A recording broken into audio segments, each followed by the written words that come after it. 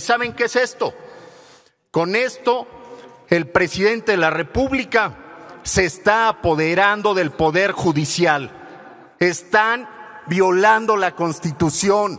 Esto, esto no puede ser. Esto es aberrante y a eso se negó el presidente de precisar qué es lo que estábamos votando.